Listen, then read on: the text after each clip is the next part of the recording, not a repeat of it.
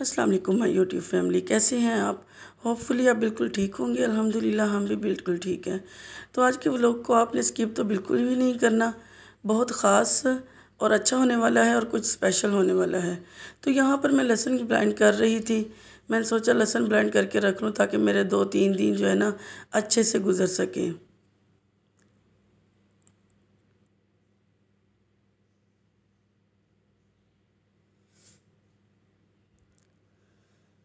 चलें जी। लहसुन मैंने ब्लेंड कर लिया और बॉक्स में डाल दिया है। अब यहाँ बादाम मैं ग्राइंड करने लगी हूँ। सुबहान मांगना, मांग रहा था, उसे मैंने दो बादाम निकाल के दे दिए। अब इसको ग्राइंड कर लेंगे। कुछ हम एक ख़ास डिश बना रहे हैं, वो मैं आगे चल के बताऊँगी, उसमें ऐड कर लूँगी और कुछ जो है ना, वो मैं सेव कर लूँगी, फिर मेरे काम आ जाएँगे। चलें जी। मेरे बादाम भी ग्राइंड हो गए हैं। अब इनको भी मैं निकाल लेती हूँ जार में से। तो यहाँ मैं बना रही हूँ कोफ्ते। मैंने सारे इंग्रेडिएंट्स एक ही प्लेट में ऐड कर दिए हैं। सुरख मिर्च पाउडर हल्दी पाउडर नमक, लहसुन, अदरक और प्याज का पेस्ट मैंने डाला था, वो भी मैंने ना स्टीम कर लिया था। उसका पानी मैंने सारा सेपरेट कर लिया था और इसमें डाल दिया है। पुदीना, हरा धनिया, हरी मिर्च का पेस्ट मैंने हर चीज़ इसमें ऐड कर दी है। और दो ब्रेड के स्लाइसेस लिए हैं। उनको पानी में डिप करके उनका पानी जो है ना सारा सेपरेट कर दिया है और वो भी इसके अंदर जाएँगे।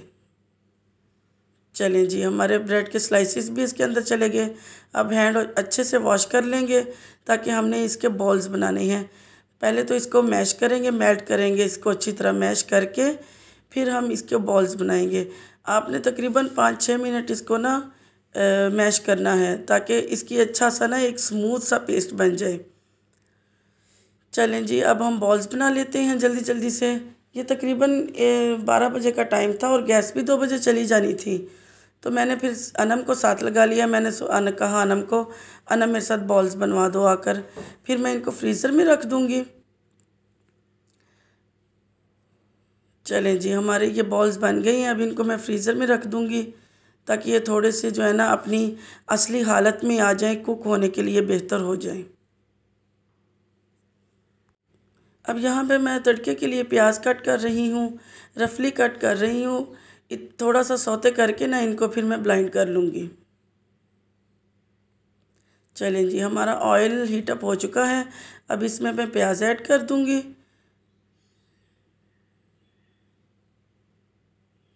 प्याज को थोड़ा सा फ्राई कर लेंगे हम।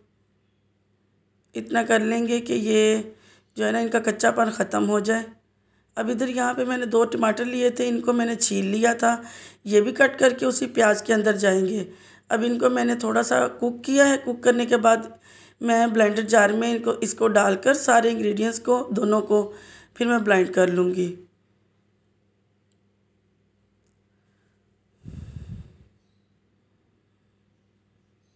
हमारा प्याज और टमाटर ब्लाइंड हो चुके हैं, अल्हम्दुलिल्लाह। अब इनको मैं फिर उसी पैन में डाल दूँगी, पतीले में डाल दूँगी, जिससे मैंने निकाला था। थोड़ा इसको कुक फिर करेंगे। पानी जो इसमें डाला था मैंने, थोड़ा सा वो सेपरेट होने के लिए। अब इसमें नमक, मिर्च, हल्दी पाउडर सब इंग्रेडिएंट्स डाल दूँगी। सूखा धनिया, ज़ीरा पाउडर वन वन टीस्पून वो वन वन टीस्पून हरी मिर्च हरी मिर्च सॉरी लाल मिर्च और हल्दी पाउडर डा, डाल दूँगी और नमक डाल दूँगी। अब इनका ऑयल सेपरेट होने तक इसको इतना फ्राई करूँगी कि ये इनका पानी ड्राई हो जाए। फिर इसके अंदर मैंने आधा गिलास पानी डाल दिया था। अब इसमें बबल्स बन गई हैं। इसमें हम वही कोफ्ते वाले बॉल्स डाल देंगे ऐड कर देंगे। आई होप आपको आज की मेरी वीडियो अच्छी लग रही होगी। अगर अच्छी लग रही है तो लाइक एंड शेयर कर दें सब्सक्राइब कर लें और बेल आइकन पर सेट कर लें ताकि मेरे मज़े मज़े के व्लॉग आपको मिल सकें। चलें जी, इनको फिर हम ढक देंगे। तो यहाँ पे मैं दूसरे चूल्हे पे रोटी बना रही हूँ। जल्दी जल्दी हस्बैंड भी आ रहे थे, मैंने सोचा जल्दी जल्दी गैस भी चली जाएगी और दोनों चूल्हों पे कुकिंग कर लूँ। तो यहाँ पे हमारे कोफ्तों का पानी जो है ना वो ड्राई हो चुका था। इस स्टेज पर आके हम थोड़ा सा दही भी ऐड करेंगे। हाफ़ कप मेरे पास दही था वो मैंने ऐड कर दिया है।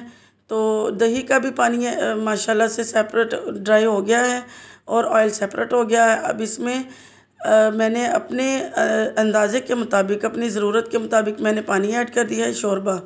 शोरबा बनाया आपको जितनी ज़रूरत होगी, आपने अपनी ज़रूरत के मुताबिक जो है ना शोरबा कर लेना है।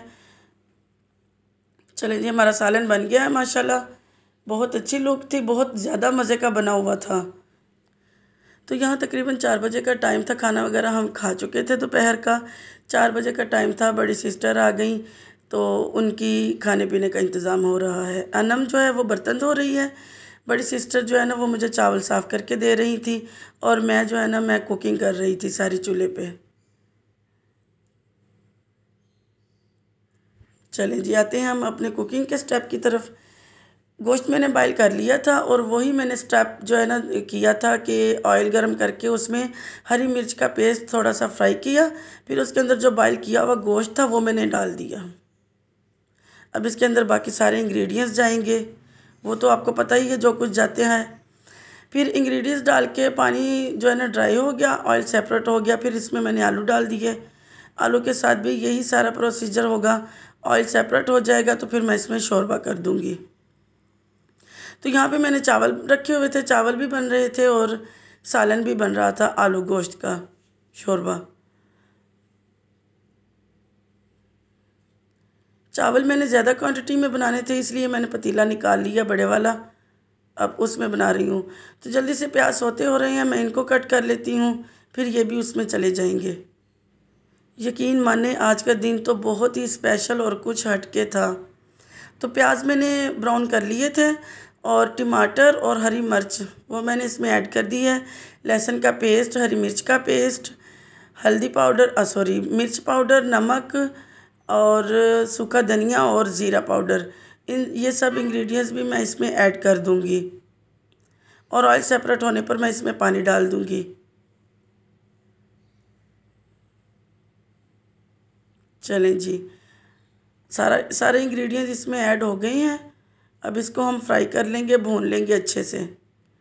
इतना भून लेंगे कि इन सब इंग्रेडिएंट्स की खुशबू आ जाए कुक हो जाए अच्छे से।